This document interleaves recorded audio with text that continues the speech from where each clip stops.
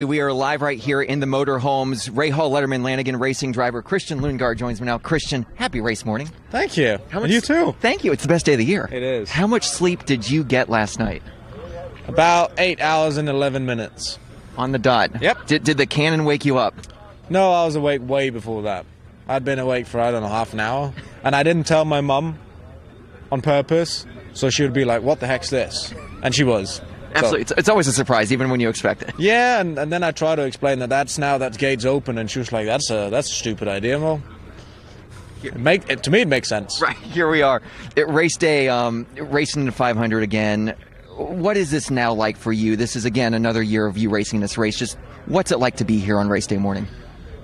It's amazing. I think right now it's the, it's the one time we actually get to just soak it all in and think about okay, in a couple of hours we'll be walking down gasoline alley and, and get ready to jump in the car and and suddenly the race is over and it's it's time to go home. So it's we, we gotta enjoy this moment as it is right now and. Now we'll see how uh, the Hy-Vee car performs this year, and I think as as a team we just haven't been fast enough. But I mean, the 45 Hy-Vee Honda was was quick a couple of weeks ago when we were going the other way around. So uh, we'll see what we can make of it today. Just having other teammates around you, starting in that same rough area, is that a good thing at least that you guys can all sort of be together moving up? I know you guys want to stay start closer up to the front, but is it sort of a good strategy thing?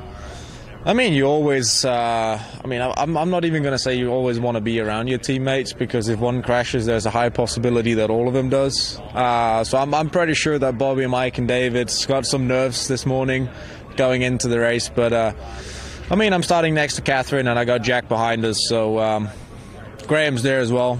He's now in a different car, so we, we don't care about him. But uh, but no, it, it's it's going to be a tough tough and long day today. We need to we need to make everything work. We need the lock on outside, and I think we got a car that's potentially good enough to be, to be around 10th, 10th to 15th, and and if you you can be around there with 50 laps to go, you can you can still fight for a really good position with with some luck your way. So we just need to be in it to win it. Absolutely. Get there 50 laps to go. Anything can happen at the Indy 500. That is Christian Lundgaard. Christian, best of luck. Be safe out there today. Thank you.